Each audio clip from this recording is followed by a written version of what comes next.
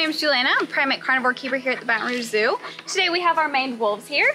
Now in some of this footage you will see me wearing my mask and gloves. That's when I'm going to be interacting with them. That is just due to the um, current uh, protocols for our zoo with all the information going on with COVID-19. We're trying to keep our animals as safe as we can. Now, the first thing you guys will notice about these guys, they have super long legs. So these guys live in the grasslands of South America. So those long legs help them see over the tall grass. Um, it's just an adaptation they have had. Um, another thing you guys will see with these guys, they don't look like typical wolves. They also kind of resemble a little bit like foxes. Um, these guys are very special in that they're the only genus in their species, the Chrysocyon, which actually means the golden dog.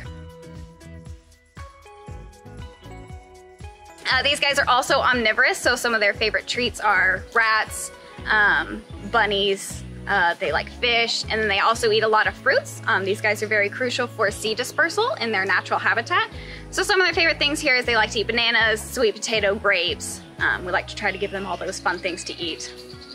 So if you'll see here, Zola is the one closer to me. Zola is eight years old, and the one in the back is Vinny. He's nine years old. We don't actually know how old these guys will live in the wild, but in captivity they will live out to be about 15 years.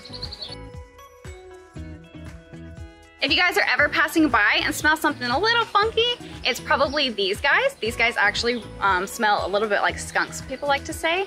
Um, so if you're ever passing by and you smell something a little funny, it's these guys. They're super fun though, but they do smell a little bad.